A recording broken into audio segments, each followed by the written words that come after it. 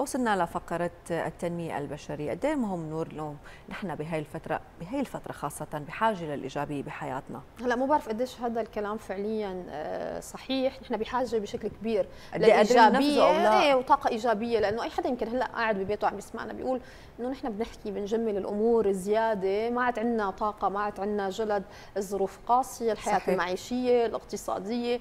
بس يمكن لولا هي الطاقة الإيجابية اللي شوي أو الأمل أو التفاؤل يمكن ما بنقدر نكمل ونشوف بكرة. أكيد. يعني. مشان اللي حوالينا أو أولادنا أو اهالينا أكيد نور مثل ما قلتي اليوم نحن مو موضوع تجميل ولكن نحن دائما عندنا تنمية بشرية عندنا مهارات وقدرات لنقدر نكفي هاي الحياة بشكل صح الثقة بالنفس المعاملة الاجتماعية وغيره. نحن قادرين نقطع بهدول المهارات ليوم ثاني أكيد كثير من المهارات فينا اليوم نركز عليها لنطور شخصيتنا قديش بتلعب دور بتطوير مهاراتنا بالمستقبل. نحكي عن هذا الموضوع أكثر معنا المدربة الدولية ولاء لحلح. يسعد صباحك واهلا وسهلا فيكي هلا يسعد صباح صباح الخير. هلا صباح النور وصباح جميع المتابعين. أهلا وسهلا بحضرتك. ست ولاء عم نحكي اليوم عن موضوع مثل ما قلنا يعني صرنا آه ما بدنا نقول نخجل يعني صرنا يعني نزعل إنه وقت نضل نقول إنه اصبروا اعطوا خلونا نكون إيجابيين خليكم عم تعطوا هاي الطاقة الحلوة بحياتكم. ولكن كلياتنا اليوم عم نمرق بظروف نعرف من حالنا يعني إنه إنه أحيانا بيقول لك أنا ما بقى فيني خلص يعني. فهون بيدخل موضوع المهارات وتدريب التنمية البشرية. قد اليوم مهم اليوم نحن نركز على هاي النقطة؟ للصراحة كثير مهم. يعني مثل ما تفضلتي هلأ بس الفكرة الأساسية إنه كل الناس عندها ضغوطات، م. كل الناس بتواجه مشاكل، بتواجه صعوبات، يعني هذا الأمر طبيعي مع كل الناس، ما إنه استثناء مع شخص معين صحيح. أو شخص ثاني، فالأمر اللي بدنا نحطه ببالنا وناخذه بعين الاعتبار إنه كل الأشخاص عندها ضغوطات، عندها مشاكل، ممكن تواجهها بعض الصعوبات وبعض العراقيل، نحن هون بيجي دورنا إنه كيف نتعامل مع هي الصعوبات كيف نقدر نتخطى هي المشكلة بأقل الخسائر م. إن كانت النفسية أو الاجتماعية أو حتى على صعيد العائلة. نحاول قد ما فينا نبسط الأمور نطلع على المشكلة من كل النواحي. ما نضل واقفين عند أمر سلبي معين ونعيش على حسرة هذا الأمر السلبي أو هي المشكلة. م. لا بدنا نحاول نبسط الأمور نتحلى بالصبر نكون أشخاص متزنين بين العقل وبين القلب. يعني نحاول قد ما فينا الاتزان بين المشاعر والعاطفة وكمان الأفكار والعقل. ما فيني أنا أكون كثير عاطفية أو عاطفتي جياشة وكمان ما فيني أكون كثير عقلانية. يعني الاتزان بين العقل وبين العاطفة اللي نقدر نوصل لأفضل النتائج. يمكن يعني أعطتني بوابة لسؤال كثير مهم. آه، اليوم كيف فينا نطور ذاتنا؟ اليوم دون يعني مع كل هالمعوقات يعني مع كل هي الظروف مع كل هي الضغوطات دائما في أساسا إذا ما في ظروف قاسية في معوقات أساسا بتمري فيها بحياتك الشخصية. بس مع هالوضع الحالي كيف فيني أنا أطور ذاتي وأقدر أتخطى أتجاوز؟ يعني ما بدنا نجمل الأمور على الآخر لأنه كل الناس حابة فعليا يكون عندها لسه بعض صبر تقدر تتجاوز هي الظروف القاسية.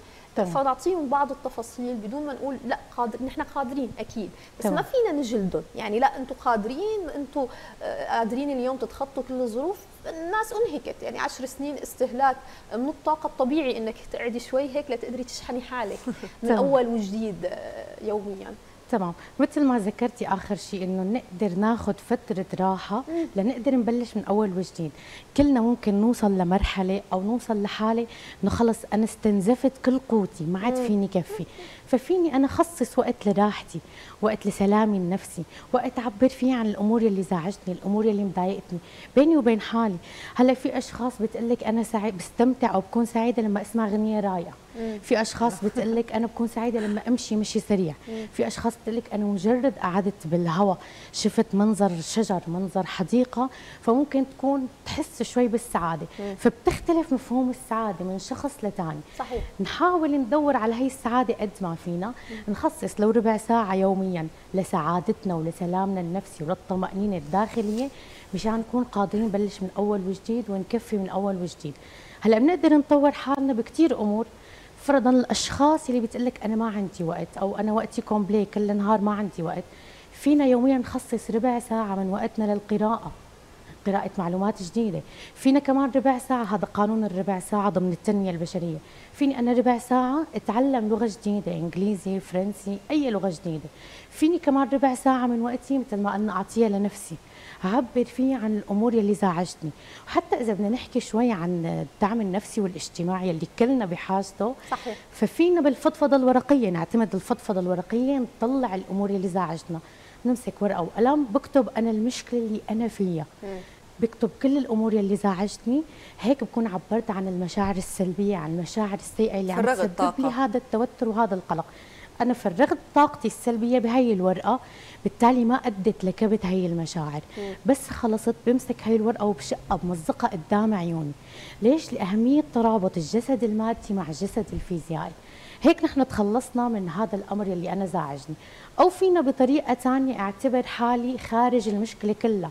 أطلع على المشكلة من الدائرة البعيدة إنه أنا طرف ثالث أعمل حوار بيني وبين عقلي. شو السبب؟ ليش وصلت المشكلة هون؟ شو اللي أدى لهي المشكلة؟ شو التراكمات اللي خلتني أتصرف هيك؟ متى ما عالجت الأسباب انحلت كل هي المشكلة. كمان فينا نطور ذاتنا ممكن عن طريق النت.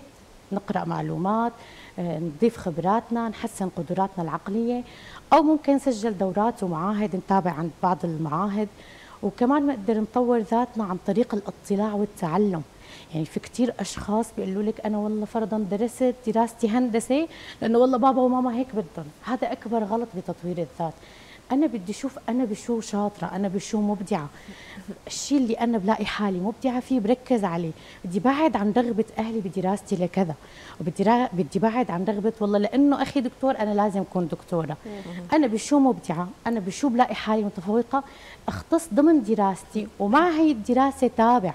التطوير التحديثات اللي عم تصير كل فترة وخاصة نحن بعصر الحضارة. تابع أي تغيير بخص هي الدراسة. أحضر ندوات أحضر دورات تابع النت. يعني أقدر طور حالي بأبسط الوسائل مثل ما بنقول. حكينا على هدول المهارات. أنا حبيت فكرة الربع ساعة يعني. تمام. كم ربع ساعة عم بضيع بنهارنا؟ يعني ممكن نحن على الموبايلات على الفيسبوك نحن فينا نستبدلهم بموضوع الربع ساعة على المهارات تمام. طيب خلينا نحكي اليوم عن الطاقة الإيجابية والطاقة السلبية اللي هن اثنيناتهم عدوى من الأشخاص اللي بيكونوا موجودين بحياتنا. تمام. آه يمكن شخص يضرب لك مزاجك كل النهار يمكن أكيد. شخص يعطيكي طاقة حلوة بحياتك يعطيكي حلول ولو بدون ما يقول لك إياها يعني. تمام. خلينا نحكي اليوم نحن كيف قادرين إنه نحتفظ بطاقتنا من دون ما نتأثر؟ بالأشخاص اللي حوالينا وكيف نحن ممكن نصدرها للناس اللي هن هلأ كثير بحاجة لها تمام. هلأ بالنسبة للطاقة الإيجابية والطاقة السلبية فهن مفهومين متعاكسين تماما. في أشخاص بتلاقي طاقتهم إيجابية حلوة متفائلين. بيتعاملوا مع أي أمر إنه ريلاكس عادي تبسيط الأمور هادين بطبيعتهم ضحكتهم ما بتفارق وشهم. بالمقابل في أشخاص ثانيين أشخاص سلبيين أشخاص نكديين مثل ما بنقول بالعامية. يعني وين في نكد؟ بدوروا على النكد وبيلحقوا هذا النكد. فبالمجمل الإنسان طبيعة تكوينة الشخصية مثل الإسفنج بيتأثر بالأشخاص اللي حواليه إن كان سلبية أو إيجابية. صحيح. فأنا لاقدر حافظ على طاقتي الإيجابية. فيني مثلا أنا محيطي سلبي عندي مثلا بالبيت أحد الأشخاص سلبيين. اولا ما حأخذ كلامه بعين الاعتبار يعني اسمع الكلام من اذني اليمين وطلعه من اذني اليسار. ما هي بدها مهاره ما كمان. تمام هي بدها تدريب وبدها مهارات ثاني شغلة خلونا نطلع على نص الكاس المليان ما نطلع على نص الكاس الفاضي. كلنا بحياتنا عنا نعم نعم كثيره فنحاول نطلع على النعم يلي عنا ما نطلع على النقص يلي جواتنا أو النقص يلي عنا. بس اطلعنا على النقص هون بلشنا نفكر تفكير سلبي ونبعد عن الإيجابية أكثر تمام. طيب خلينا نحكي بما إنه حكينا على ممكن نبلش بشكل يومي بفكرة الربع ساعة يوميا لتطوير المهارات والذات وحكيت على خطوات كثير مهمة. بس قبل كل هذا قديش فينا نحفز الكلام والعقل؟ يعني قبل ما تبلشي بكل هي الخطوات في ناس بسبب المحيط السلبي هي بتجذب. آه، حتى الكلام السلبي أنا مش قادرة أنا مش تعبت الوضع سيء. هذا الكلام اللي بيتردد بشكل يومي بنردده بدون ما نستوعب شو عم نردد هذا بتصير باللاوعي عندك موجود. خلينا نحكي مبدئيا إنه أنا هذا الكلام من هيدا الكلام بلش أنا. يوميا كل فينا نقول يوميا ربع ساعة أقول أنا لا إنه رغم الظروف أو يمكن بدي أعكس كل الأقدار اليوم ودي نهار يكون غير. لو هو فعليا نحن بظروف قاسيه وصعبة لو هو محيطي سلبي رح أحاول ما يأثر اليوم على حياتي اليومية. هذا الكلام التحفيزي بيني وبين نفسي لبلش يعني بعتقد من أهم الخطوات قبل ما تبلشي أي خطوة نحو نحو تطوير مهاراتك تمام. ما هي الخطوة الأولى إنه أنا بلش بداية يومي بتوكيدات إيجابية. فرضا أنا حياة العمل عندي شوي متعسرة شوي عم واجه مطبات. فأنا فيني دخل توكيدات إيجابية بتخص العمل ببداية يومي. في مقولة بتقلك الأقدار تأتي بالأقوال. أنا بس أقول أنا ماني قادرة أنا ما رح أنجح أنا رح أفشل. في كثير أشخاص ناجحين بهذا المجال ما رح أقدر أكون مثلهم. هذا الكلام السلبي بتخزنه الذاكرة وبيتخزن بالعقل الباطن بالتالي بيترجم على حياتك ككل. فمجرد ما أنت دخلتي هدول التوكيدات الإيجابية ببداية النهار فأنت عم تعطي حالك حافز وكم هائل من الطاقة الإيجابية. كمان عم تبرمجي عقلك الباطن للإيجابية. فرضا فيني أقول أنا شخص إيجابي أنا شخص متفائل. أنا اليوم نهاري رح يكون سعيد. أنا رح أقدر أتجاوز أي مشكلة ممكن مر فيها.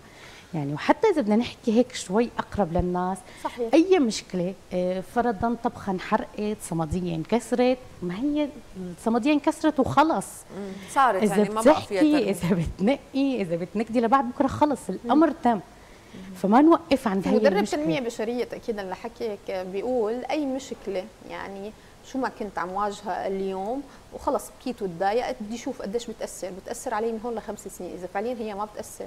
لازم ما أوقف عندها كثير يعني هي ما بتأثر على مجرى حياتي بشكل عام. مثل الظروف يعني إنه أنا خلص بعدي بمكاني عم اشتغل بس ما بتأثر علي. قديش هي المقوله صحيحة؟ تمام. كثير صحيحة لأنه ذاتك هو مصدر قوتك الوحيد. مم. إذا ما أنا بلشت من حالي إذا ما أنا سعيت واشتغلت إني طور من حالي إني اكون حدا إيجابي يعني عندنا كاسة نصها فاضي ونصها مليان. نحاول دائما نطلع على نص الكاسة المليان. نطلع على الأمور يلي عندنا. اطلع على القدرات يلي عندي. اطلع على المواهب اللي أنا بمتلكها. حاول أصقل هي المواهب. حاول نمي هي القدرات. مثل ما ذكرنا في عدة طرق لننمي هي المواهب وننمي هي القدرات. بالنهاية الحياة صعبة فبدنا نواجهها بحلوة وبمرة. شوية تروي شوية هدوء شوية تعامل مع الأمور بحكمة. نكون عقلانيين أكثر ما نفكر بالعواطف وبالمشاعر لنقدر نتخطى أي مشكلة أو أي عقبة ممكن تواجهنا. بالنهاية النجاح ما سهل. صحيح. يعني ما في حدا من الناجحين وصل بكل سهولة أو كان طريقه معبد بالزهور. يعني في مقولة لأديسون بتقول لك أنا لم أفشل بل وجدت ألف وواحد طريقة لا يستطيع المصباح الكهربائي أن يعمل بها. صحيح. إذا بدنا ناخذ هي الجملة بعين الاعتبار أنا لم أفشل.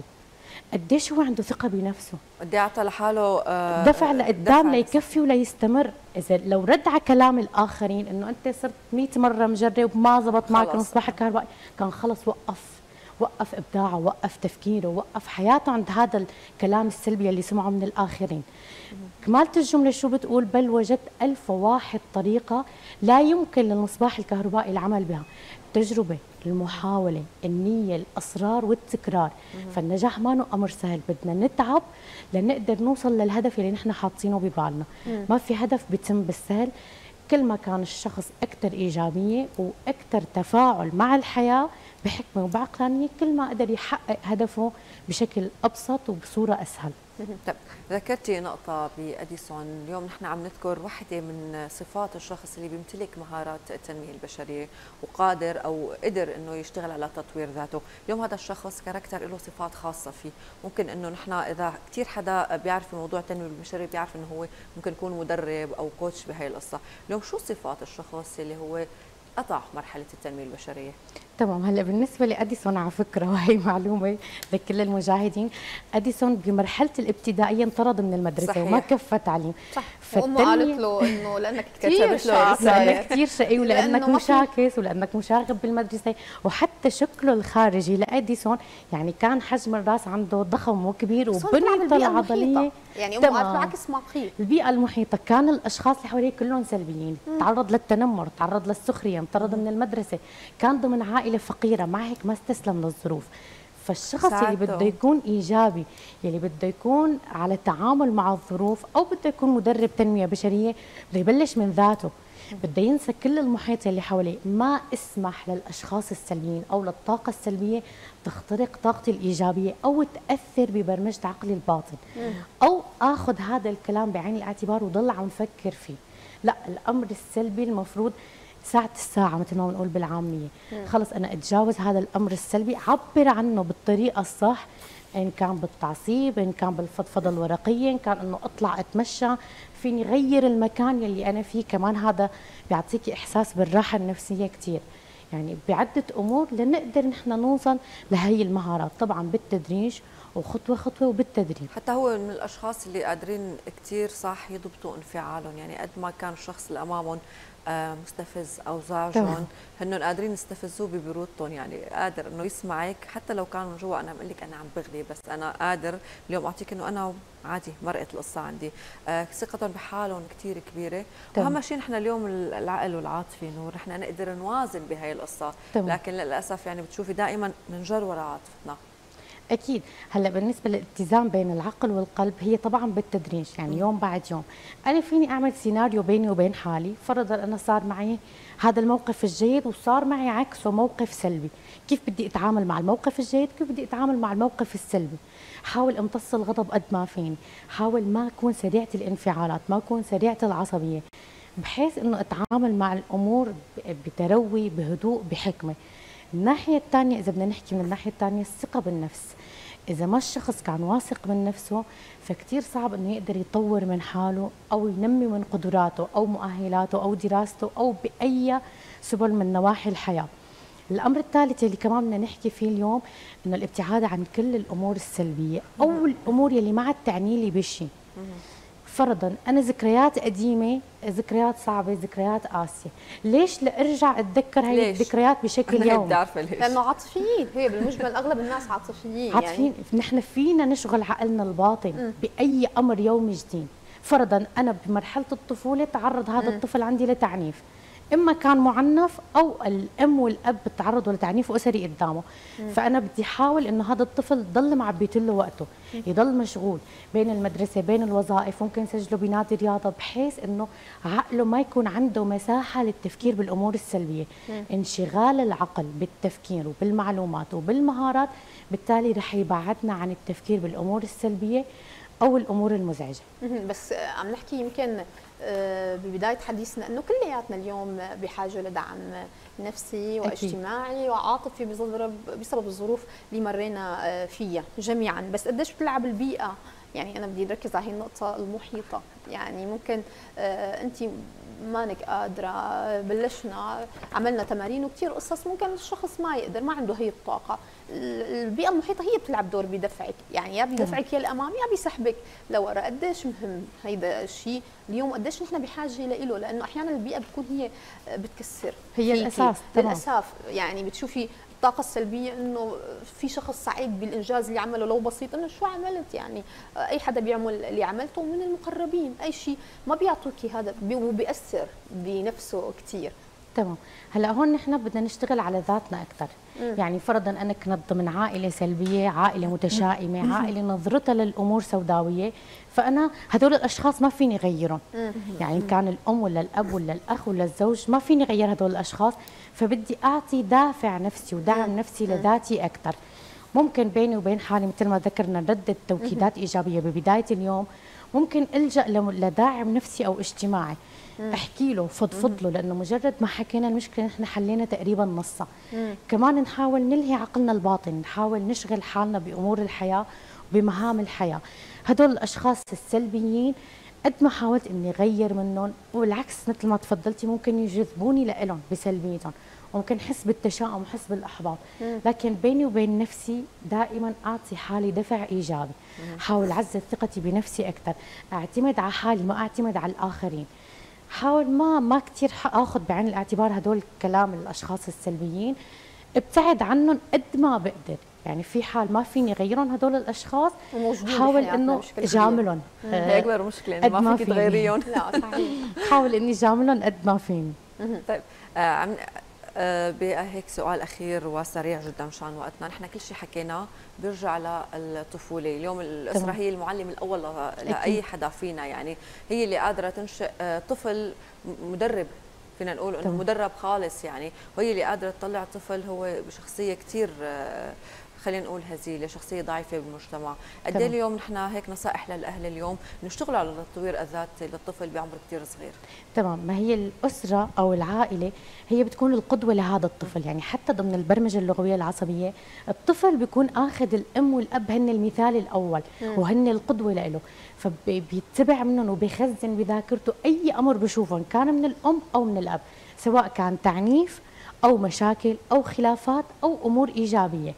فأنا نصيحتي لكل اللي عم يتابعونا إنه يحاولوا أنت لقيتي ابنك آه، فرضا عنده موهبة إبداعية بالرسم. اشتغلي على أثقال هاي الموهبة. اشتغلي على إنه تتطور عنده هاي الموهبة. ممكن تشتري له بالتحفيز والترغيب. ألوان دفتر رسم تخصصي له غرفة خاصة فيه إنه هي بس ولا بدك ترسم تجي هي الغرفة. إذا رسمت هي الشكل مثلا أعطيه شكل وحاول يرسمه هو بالورقة والقلم. على مبدأ التحفيز والمكافأة للطفل من فترة لفترة ثانية ولو في مشاكل بين الأم والأب أو بدها تصير مشكلة بالبيت خلوها بعيدة عن هذا الطفل لأنه الطفل ذاكرته 100% دقيقة بتخزن هي الأحداث بأدق التفاصيل. لهيك تحاولوا تكون بعيدة عن هذا الطفل. يمكن بعيدا عن كل الظروف لازم نعطي اليوم اولادنا حب وعاطفة قد ما بنقدر لأنه بتأثر على حياتهم الشخصية وعلى تكوين ذاتهم اليوم. شكرا كثير لك شكرا لكم. شكرا, شكرا